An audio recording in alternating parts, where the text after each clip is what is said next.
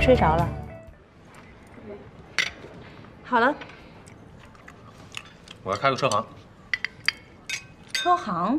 啊，就我原先工作那个地方。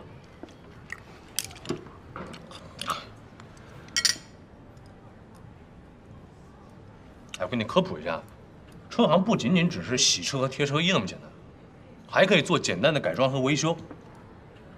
而且以后做大了，还可以向卖车店拓展业务。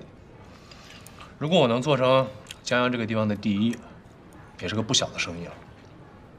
凭什么你就能做到第一啊？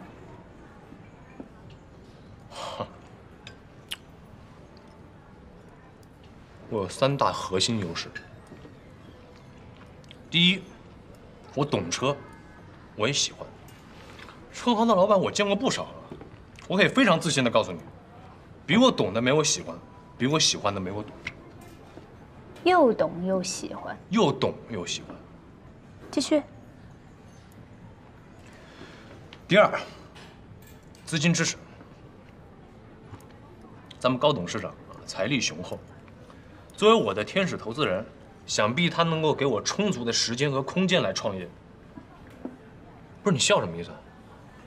肯定的意思啊。真的吗？真的。第三呢？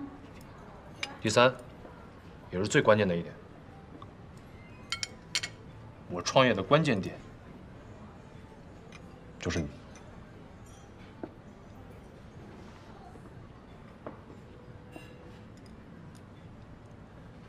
先吃饭吧，吃完饭你让我看看，到底有多懂车。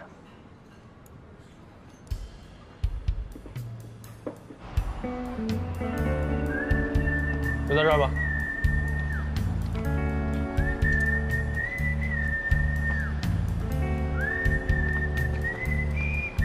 听声辨车，诚不欺你。大舌头的诚。怎么个听法？我可以直接听出所有的高端发动机的型号，说车型。我不信。我天赋异禀，你为什么不信呢？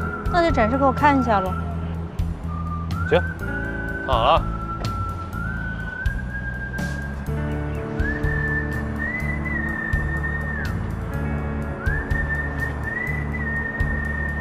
你闭上眼睛就不呼吸了是吗？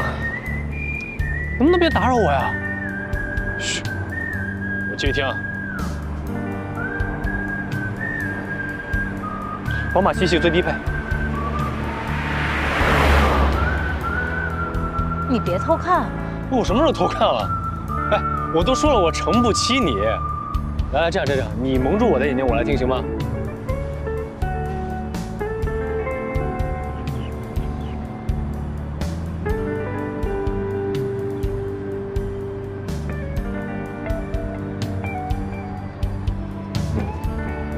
你睡着了？